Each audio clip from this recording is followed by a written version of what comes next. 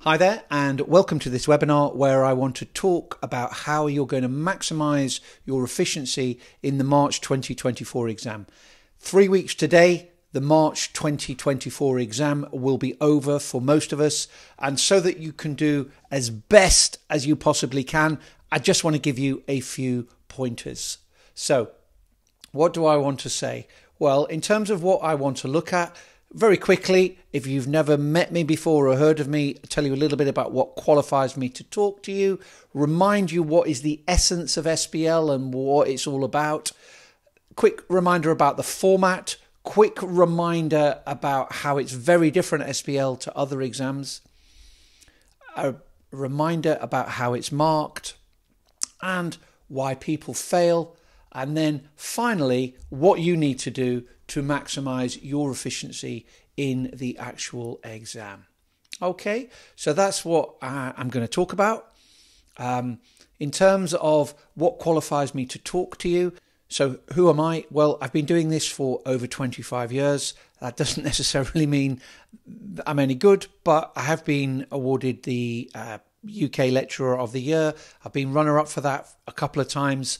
If you go on the ACCA YouTube channel, the ACCA website, the ACCA Student Accountant, you'll see lots of articles, webinars, advice um, on SBL that the ACCA have asked me to give as I'm their expert tutor. And um, yeah, I, also run a course which is platinum approved, which is the highest level you can get, and you can check those out on the ACCA website. And, and why am I saying this? Well, it just kind of, I, I, feel for you because of all of the so called experts online. There's a lot of people online who, hmm, I'm not sure they really know as much as they claim to know about SBL. Yep, and I would question is their website only credible? There's an awful lot of fake news. Some of what they say is plain wrong. Um, and if you don't believe me, put their name into the ACCA website. Are they running a platinum course? Do they have articles published on the ACCA website? If they don't, I would stay away. I would stay away. Anyone can say anything in this social media world we live in, but it doesn't mean it's credible. You know, the moon's made of cheese. Did you know? I've seen that online. Is it? I'll leave you to decide. Put my name into the ACCA website, put Tom Clendon's name into the ACCA website. You'll find that there are lots of references which hopefully gives you confidence because it's got credibility. So my point is be careful of the experts online in the run up to the exam. There's lots of information out there, not all of it is true. Be careful. What is SBL essentially about? It's important that you get your head around this because it's crucial for you to relate to it and empathize with it in answering SBL questions. Yep. So I can tell you, but probably better if the examining team themselves tell you. And they basically talk about it being an integrated, blah, blah, blah, an integrated exam um, where you are acting in the context of being a strategic leader. It's linked to the workplace and it's all about role play uh, and workplace context. Yep. So the reason I say that is if you are stuck on a particular question on SBL, think what would I do in the workplace? What would I say in the workplace? And often that is sufficient for you to be able to generate an answer. So um, it's not something where we regurgitate lots of technical fact. Yep. And that's because it's not a technical exam, it's an applied exam. And as a result, it's not something that we learn and regurgitate, but it's something that we understand and it's something that we need to have a confidence about so we can express opinion. Yeah, there's not necessarily always a right or wrong answer. And if we have done lots of questions and read and got feedback to those questions and look at how there are alternative ways in which we could answer a question, you hopefully will have that confidence. Yeah, I make my students do lots of mocks, lots of homework. I give them lots of feedback so they can see, yes, what they said is fine, but had they gone down another road and said this, that would also be fine as long as it was contextualized correctly. Okay? Right. Uh, what else? The exam format and style since September 2023, it has changed. I'm sure you're familiar. Um, and let's have a quick look. It's three hours, 15 minutes in line with the other strategic professional papers. That's 195 minutes. You've got 100 marks, 80 are technical, 20 are professional skills marks. You only need 50 to pass. That is all you need. You will get pre seen information two weeks before the exam. I've recorded a video for the ACCA. You can find it on their YouTube channel, How to Deal with the Pre Seen Information. Please have a look at that video. Uh, the exam will present you with three tasks, roughly a third, a third, a third make sure you are familiar with that. And also, I've recorded another video for the ACCA on how to behave in the exam and how to manage it. Make sure you look at that um, video as well. That's on the ACCA website. And what you need to be able to do is demonstrate a professional awareness, but also uh, competence in dealing with some of the technical questions you will get. Although it's not a technical exam, it's an applied exam. Some of the questions will be asking you to evaluate the dynamics of a situation, which will be helped by application of some technical knowledge to help in your structure and planning. So that's your exam. Um, how is it different to other exams? It's massively different to other exams. Um, as I've said, it's not a technical exam. Um, it is a applied exam and you're behaving as a strategic leader in the workplace. You show professionalism so professional skills marks maybe for being skeptical for showing commercial acumen for using evaluation for communication skills which you would obviously tailor in accordance with who you are communicating with. So it's a very very different exam. Um, i would suggest in your final weeks of consolidating your knowledge, try to create your own mind maps of how everything links together. There is information on the ACCA website, but the things that you do yourself are much more powerful and stay in your memory for much longer. So that would be what I'd suggest you're doing in the next three weeks, consolidating knowledge that you've obviously been acquiring over the last few weeks or months, and then making it in a pictorial, uh, visual, which helps your brain much better than you know just learning lists. Uh, what else? Well, it's interesting to know how SBL is marked. Yep, it, the reason I go into this is other papers you've done, one and one is two. Yep, it's pretty straightforward, and often those more technical papers are marked by a computer because there is no debate. Whereas on SBL, there are many ways in which you could get credit for an answer. And how is that dealt with by the ACCA? Let me explain. So, this is a quick overview of the marking team, the marking principles, and a bit on professionalism and professional skills. So, what we have a marking session lead, another word would be maybe an examiner. That person will be accountable to a technical person from the ACCA, and that marking session lead will have working for them a number of team leaders who manages groups of markers. So you sit your exam, which will have been written by your marking session lead, and what will happen is uh, a draft marking guide would have been created. Yep. But it will not have been finalized. So um, they will kind of mark some scripts, draft a marking guide, and then what they will do is they will um, get some markers to some of the, the rather the, the, the, leads will come together and will collectively agree on a definitive marking scheme. That marking scheme will then be used to educate the markers, and the markers will be given some sample scripts which they need to mark. And if their marks are not in line with what the examiner expects to be happening, they will be trained until they understand exactly where and where not marks will be awarded. So once that has happened, we have uh, markers approved and they can start marking. But the scripts that they mark will be checked by what are called seeding scripts, which are scripts for which the examiner plants among student scripts. and these will check that the marker is still marking to exactly the same standard. So the reason I say all of this is that marking is extremely fair, yep, and consistent, yep. So um, the principles of it are suggested answers are examples of strong answers, but not necessarily the answers you need to give. And if you read the small print where you get answers, it does say that. And answers on uh, the, the official ACCA answers are often very long. Um, and it says these are not meant to be representative of what a student could do. They also have a tutorial purpose.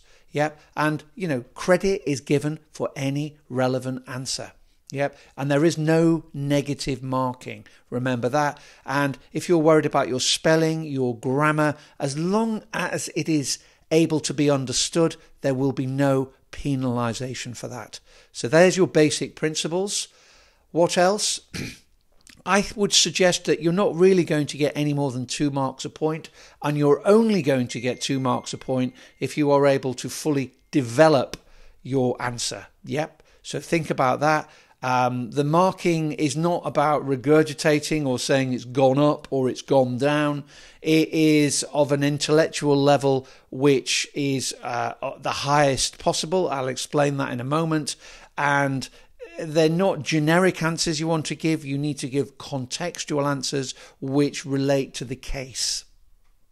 So, in terms of an intellectual level of marking, which the exam needs to stand up to, uh, there's a there's a science called Bloom's taxonomy, and the level of examination of SBL is at the top level of evaluation and synthesizing. So that's not just regurgitating. Synthesizing is you take information and you connect it together and draw a conclusion. That's what is meant by synthesizing.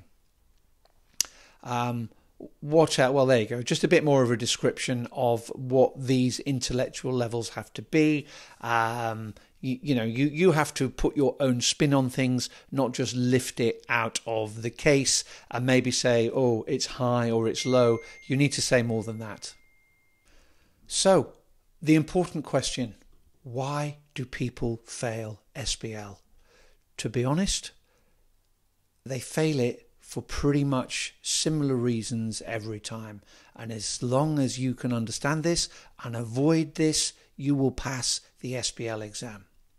Okay, I'm assuming the people that have marginally failed will have done an appropriate amount of study, but they still fail due to poor time management, to due to ineffective reading and planning, due to poor business writing skills, and for not actually crafting an answer relevant to the professional skills marks that are being awarded. So you need to watch out for that. Okay, so what would we do to use our time effectively? Well, the most important thing you would do is you would have a budget. Yep. And to create a time budget, I would suggest the following.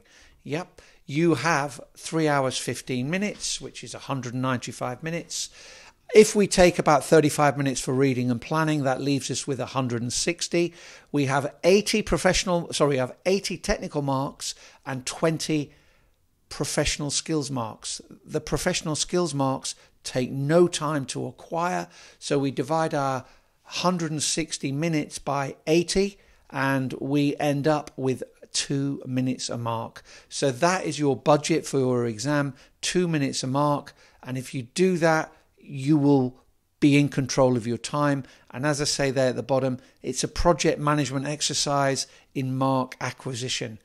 Once you've got your budget, it's important to write down start and finish of each subsection of a task and keep checking that you are on schedule. Yep, they the video I created for the ACCA, I give a little graph about how time management can really wreck your exam chances. So have a look at that as well. Uh, what else? Well, uh, how do I deal with the scenario and uh, the exhibits? Well, pre-seen material released two weeks before. Make sure you follow my video recorded for the ACCA on how to deal with the um, pre-seen material. On the exam day, you'll get some more information and three tasks. I would and, and more exhibits. So I'd probably read the tasks and then I would look at each of the exhibits to make a connection. Um, when reading it, I'm breaking it up. I'm probably highlighting it. Um, I'm trying to visualize what's going on. I'm trying to picture it. I'm trying to think, you know, how is this manifesting itself in real life? That is the kind of mindset I want you to be adopting.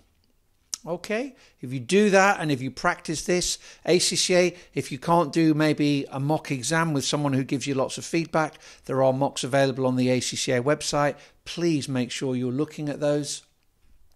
Um, how do I read and plan? Well, the danger in exams is because we're a bit stressed, we have a stress chemical and that makes us behave in weird ways. Um, so there's, there's a few things I'd like you to do, but um, reading the question more than once, having some headings. Uh, I would do this in the word processing area of the exam, not the scratch pad. Um, I'd be looking at what the key words are, what the answer format is. Very important that we do that. What's the verb? What you're asking us to do. Sometimes we just see the first half of an answer, and that's because of the rule of and. Uh, so we need to read it once, and this is, oh, it says an and. Yep. So in previous exams, there was a question where it said, What are the benefits and drawbacks in determining future aims and objectives. A lot of students, when they answered this question, didn't see the drawbacks and didn't see the objectives. It just is what happens in exams sometimes. Yeah, be careful. The marking guide, what when I say spot the marking guide, the answer you give needs to be reflective of the marks that are available. Yeah. So here we're thinking about where are we going to get marks for uh, or from in um, discussing whether the objectives of directors of a quoted company are likely to conflict with those of the company's shareholders. Okay, what have we got there? Well, let's say about four for objectives of directors, about four for shareholders, and maybe up to four for the conflict. But the maximum we're going to get is going to be 10 marks. And to pass it, we need five marks or more. Yeah, so don't get too stressed about getting 100%. You don't need it. You need to get over 50. Okay, so hopefully that is useful. Um, what else do I want to say to you? Well, in terms of concise business writing, um, it's a bit in use the analogy when you meet someone for the first time. Yep, you know you talk to them in a clear way. Yep, you speak clearly. Yeah, you don't start off with a ridiculous opening statement. Psychologically, that's not great. Yep. So subheadings and white space are the key things you want to make sure you do. And when you planned and you did a bullet point, you can then copy and paste that into your answer and expand that to give an explained answer where you deal with the so what and you deal with the why and the consequence, the reason of why you've just said something. So white space, this, mm, it says the same thing as this this is a lot easier to answer, and psychologically, when a marker's under pressure, it's probably going to give more marks to the white space. Not always, but you run the danger of losing your points in a big blob of information. Um, so be careful. Um, what else does the examining team say we should be doing? Well, I say this all the time, so I'm not saying this. This is the ACCA examining team, and they say that sitting a mock exam, which is in a time um, kind of allocated process, is the most important thing you can do in preparing for your ACCA exam. I say that, the examining team says that why will you not do that? Yeah, it, I'll, I'll give you some reasons why you should do it in a moment, but that is absolutely crucial. The other thing that's crucial, if you're not familiar, is your familiarity with the computer based exam platform. Yeah, understand the functionality of things like slides uh, and spreadsheets. It's, it's not Microsoft Excel, it's not Microsoft Word. You must, must check it out. Okay? So, what do I think you need to do to maximize your efficiency in the exam? Well, first of all, I think you need to get your head in the right place. And do you have a reason why you are taking it? What is success in this exam going to look like for you? That's going to carry you through the next three weeks. So if you haven't got that clear, get some clarity on it. Yep, really important why you are taking this exam so that you are fully motivated to do so. What would I say here that could help you? Well, there's quite a few. I've written a series of six articles, put my name into ACCA student accountant, and there's six long articles talking about exam preparation, which will hopefully help you. Yep. Have a look on my YouTube channel if you like to listen to podcasts. There's lots of stuff on there. It's all free. You don't need to pay for it. What else? Um, well, I would say the most important thing, I'm in agreement completely with the examining team, is practice a mock exam to time on the ACCA platform. Why would you do that? Well, I would ask you the following questions. Yeah, I would say, would you learn to swim by reading a book? I would ask you, would you learn to drive by reading a book? Yep. Why do football teams play friendlies before big tournaments? Well, they do it to iron out all their mistakes before the big game. Okay? And the best way to iron out your mistakes before a big game is to do a mock to time. Yeah, on the platform. Uh, on the platform, you you, they, they, you can't um, put the time in. You just have to use a stopwatch. However, I actually do a mock where I um, with various technology, I'm able to make a timed mock exclusively for you on your ACCA registration. Yeah, so you go on there. It uses the uh, the pre-seen material that will be released two weeks before the exam, so I don't go to sleep for two or three days to create a pre-seen related mock. The questions you will have never seen before. Uh, it's on the platform, so you will, in order to do well, have to have familiarized yourself with the functionality of the platform, the slides, the word processing area, the spreadsheet area.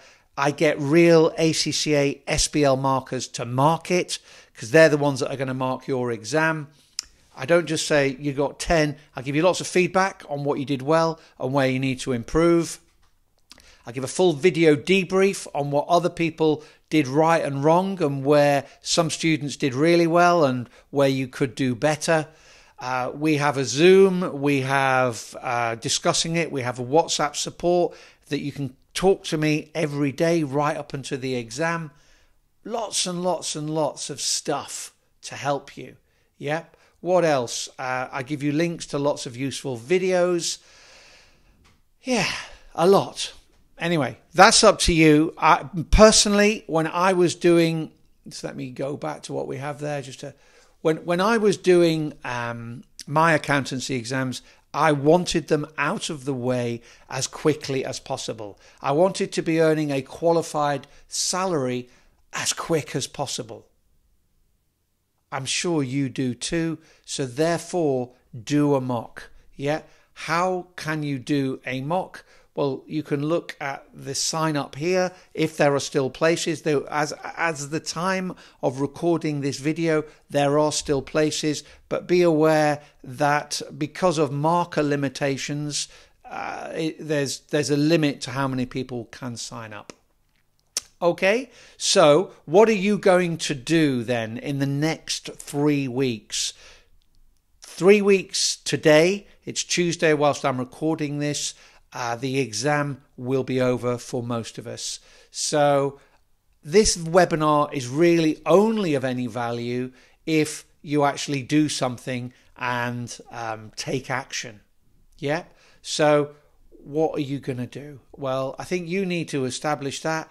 But what I'd say to you is what you need to do in implementing some of these ideas is first of all get organized. So, by that I mean get a timetable of how you live your life for the next three weeks.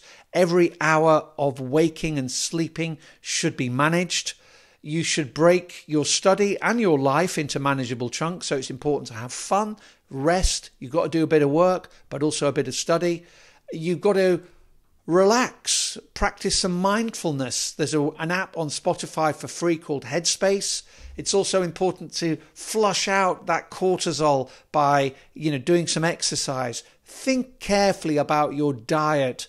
You know, don't have big glycogen dumps by you know, uncomplex carbohydrates. That's it's just going to make you sleepy and not great for you. So yeah, think about those things. They are really important.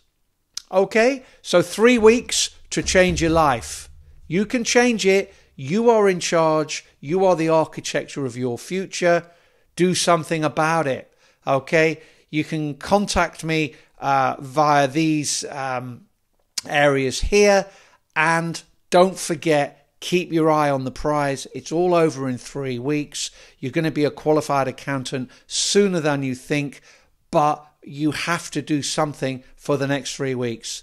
Thanks for listening. Any questions, drop me a WhatsApp, and I wish you all the best.